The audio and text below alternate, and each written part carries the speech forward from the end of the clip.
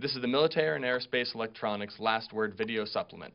I'm Skyler Frink, and with me is Peter Antoinette, CEO of Nanocomp Technologies. So, Peter, how is carbon nanotube technology viewed by system designers? Well, Skyler, I think you'll find that carbon nanotubes have been being looked forward to as the next generation of new and advanced materials.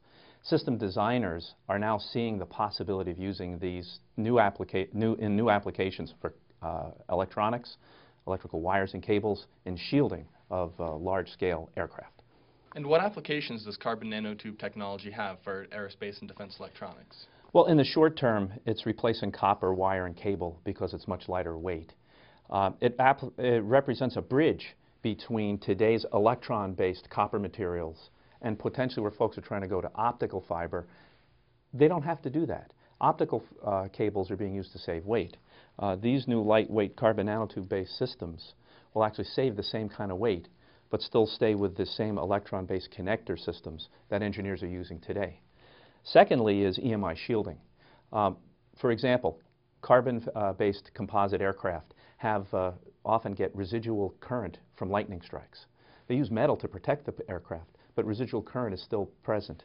Uh, this lightweight materials is being used for EMI shielding and uh, shielding internally uh, and enables uh, better shielding with less, uh, for basically the weight of a coat of paint uh, and allows you to shield the internals of a carbon fiber based airplane much more effectively.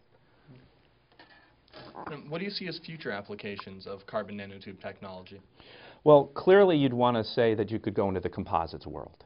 Uh, carbon nanotubes have uh, a high, at least the tensile strength of carbon fiber, but they are quite flexible. They don't have the same brittleness. So the strain to failure is different.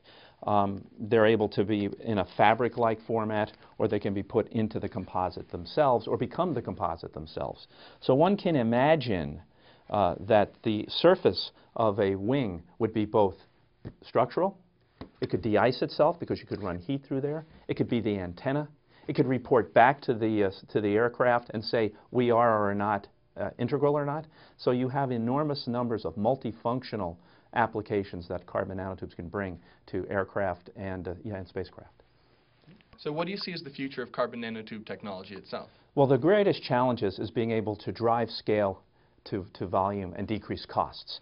It's great to have a cable here that's 69% lighter weight, but you have to be able to produce this in a format and at a cost that can be broadly used by uh, aircraft engineers. So the future is driving up the, uh, the output, decreasing costs, and eventually getting broadly used across the entire industry. Well, thank you for coming in to speak with us, Peter. I'm Skyler Frink, and this was the Military and Aerospace Electronics Last Word video supplement.